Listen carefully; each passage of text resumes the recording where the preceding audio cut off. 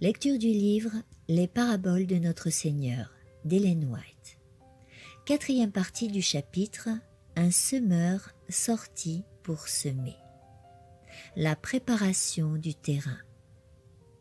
Dans tout l'exposé de la parabole du semeur, le Christ montre que les différents résultats obtenus dépendent de la nature du terrain. Dans chaque cas, le semeur et la semence sont les mêmes. Le Sauveur veut établir par déduction que si la parole de Dieu ne produit pas son effet normal dans notre vie, c'est de notre faute. Il est vrai que nous ne pouvons pas nous changer nous-mêmes, mais nous possédons le libre arbitre, et c'est à nous de décider ce qu'il adviendra de notre personne. Rien n'oblige les auditeurs représentés par la semence tombée le long du chemin, dans les endroits pierreux ou parmi les épines, à rester dans cette condition. L'Esprit de Dieu s'efforce sans cesse de rompre le charme qui les retient au monde et d'éveiller en eux le désir des biens impérissables. C'est parce qu'ils résistent à l'Esprit que les hommes finissent par ne plus prendre garde aux injonctions pressantes de la parole de Dieu. Ils sont eux-mêmes responsables de la dureté de leur cœur qui empêche le bon grain de s'y enraciner ou facilite le développement des mauvaises herbes qui l'étouffent. Il faut cultiver ce jardin qu'est le cœur. Il faut en défricher le terrain par une profonde repentance de ses péchés. Il faut en arracher les plantes nuisibles semées par Satan Lorsqu'un champ a été envahi par les épines, ce n'est que par un travail énergique qu'on parviendra à l'en débarrasser. De même, les mauvaises tendances du cœur naturel ne peuvent être vaincues que par des efforts persévérants accomplis au nom et par la grâce de Jésus. Le Seigneur nous avertit par ses prophètes, Défrichez-vous un champ nouveau, et ne semez pas parmi les épines semer selon la justice, moissonner selon la miséricorde. Jésus désire faire cela pour nous et il nous demande notre coopération. Les semeurs de la bonne parole ont une tâche à remplir pour préparer les cœurs à recevoir l'Évangile. Le ministère de la prédication comporte trop de sermons et pas assez de méditation où les cœurs entrent en réelle communion avec Dieu. Un travail personnel est nécessaire pour sauver les âmes qui périssent. Animés d'une sympathie chrétienne, nous devrions nous adresser aux âmes individuellement et nous efforcer de les intéresser aux grandes vérités de la vie éternelle. Leur cœur peut être aussi dur que les sentiers battus, et il peut nous sembler dès l'abord que nos efforts sont inutiles, mais là où la logique et les arguments échouent, l'amour de Jésus-Christ, révélé dans notre apostolat, peut attendrir le cœur de Pierre et permettre à la semence de la vérité d'y prendre racine. Les semeurs ont donc un travail à faire pour que la bonne semence ne soit pas étouffée par les épines et ne périsse pas faute de terre.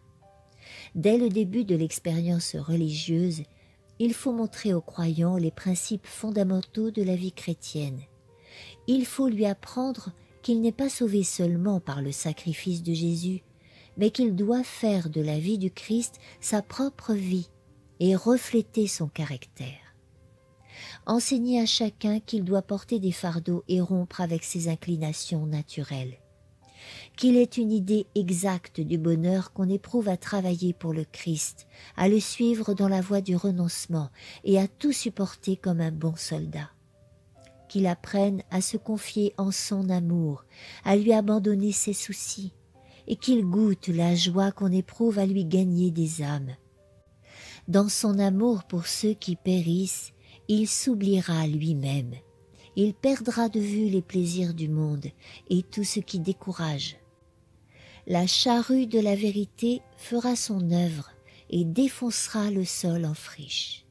Elle ne se contentera pas de couper les épines, elle les déracinera complètement. Dans la bonne terre, le semeur ne rencontre pas seulement des déceptions. En parlant de la semence tombée dans la bonne terre, le Sauveur nous déclare que celui qui entend la parole et la comprend porte du fruit, et un grain en donne cent, un autre soixante, un autre trente Ce qui est tombé dans la bonne terre, ce sont ceux qui, ayant entendu la parole avec un cœur honnête et bon, la retiennent et portent du fruit avec persévérance. Le cœur honnête et bon dont parle la parabole n'est pas un cœur sans péché, car l'Évangile doit être prêché à ceux qui sont perdus. Le Christ a dit Je ne suis pas venu appeler des justes, mais des pécheurs. Le cœur honnête est celui qui cède à l'action du Saint-Esprit. Il confesse ses fautes, éprouve le besoin du pardon et de l'amour de Dieu, et a le sincère désir de connaître la vérité et de lui obéir. Un bon cœur est un cœur croyant, celui qui a la foi dans la parole de Dieu. Sans la foi, il ne peut recevoir la parole. Il faut, dit l'Écriture, que celui qui s'approche de Dieu croit que Dieu existe et qu'il est le rémunérateur de ceux qui le cherchent. Celui qui entend la parole et la comprend. Les pharisiens du temps de Christ fermaient les yeux pour ne pas voir et se bouchaient les oreilles pour ne pas entendre. C'est pourquoi la vérité n'atteignait pas leur cœur. Leur ignorance et leur cécité volontaire leur coûtèrent cher.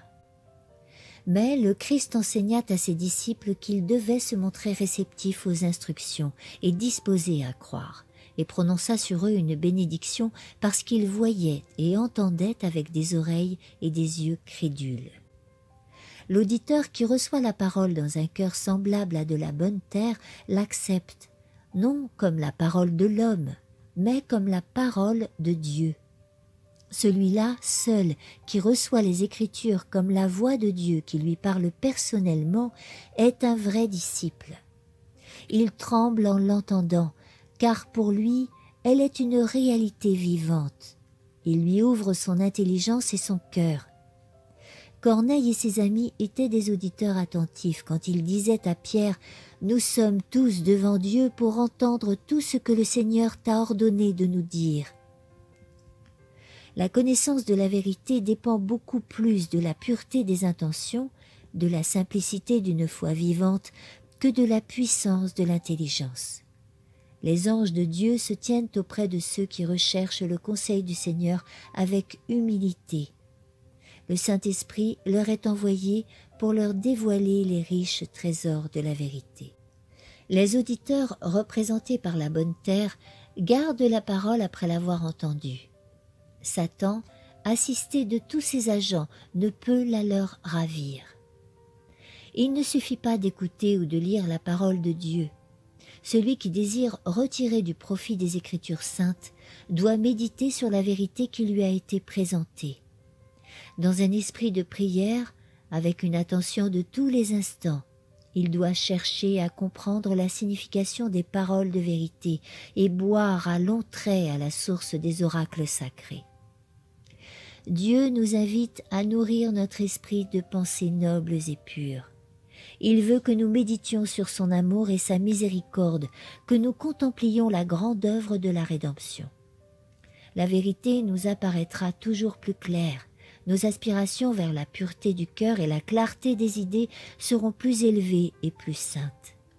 L'âme qui vit dans la pure atmosphère de pensées nobles et élevées sera transformé par la communion avec Dieu qu'on trouve dans l'étude des Écritures. Et porte du fruit.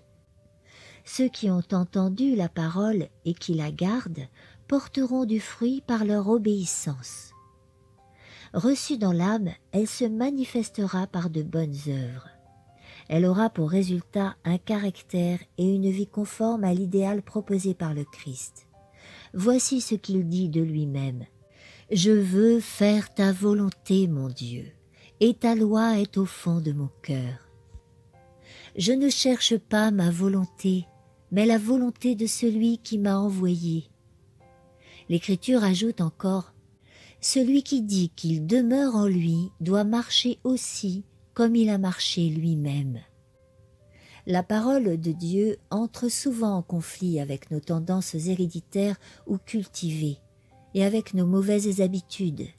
Mais l'auditeur qui a reçu la parole dans les meilleures conditions acceptera toutes ces exigences. ses manières, ses habitudes sont dès lors sous son contrôle. À ses yeux, les préceptes des hommes comparés avec la parole d'un Dieu infini sont sans valeur. De tout son cœur, sans la moindre arrière-pensée, il aspire à la vie éternelle, et au prix de ses biens, de la persécution et même de la mort, il obéit à la vérité. Et il porte du fruit avec persévérance. Aucun de ceux qui reçoivent la parole de Dieu n'est à l'abri des difficultés et des épreuves, mais le véritable chrétien ne s'agite pas devant l'affliction. Il ne perd pas courage et ne désespère pas. Même si nous ne pouvons pas connaître l'issue de l'épreuve et comprendre les desseins de Dieu à notre égard, nous ne devons pas perdre confiance.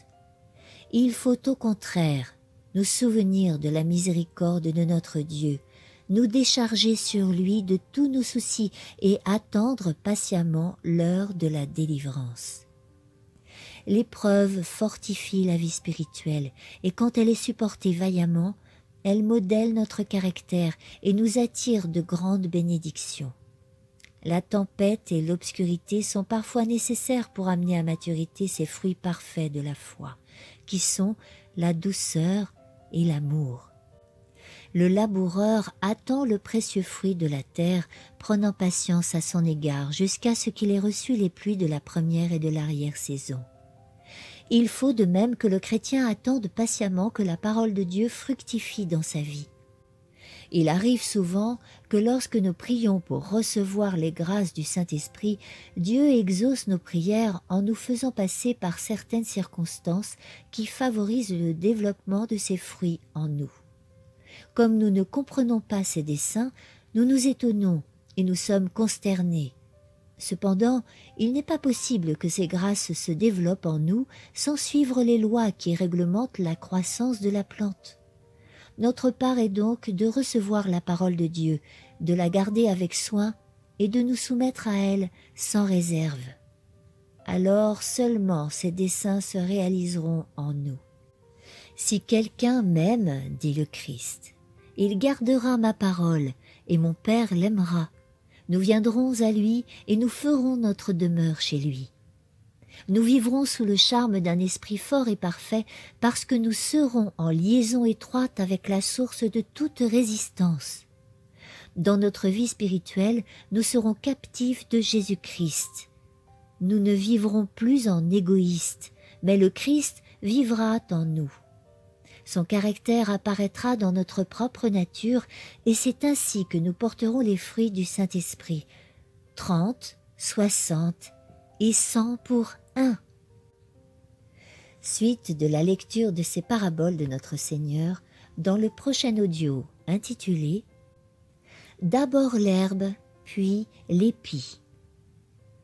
Si tu as apprécié cette lecture, n'hésite pas à liker le petit pouce qui pointe vers le ciel et à partager.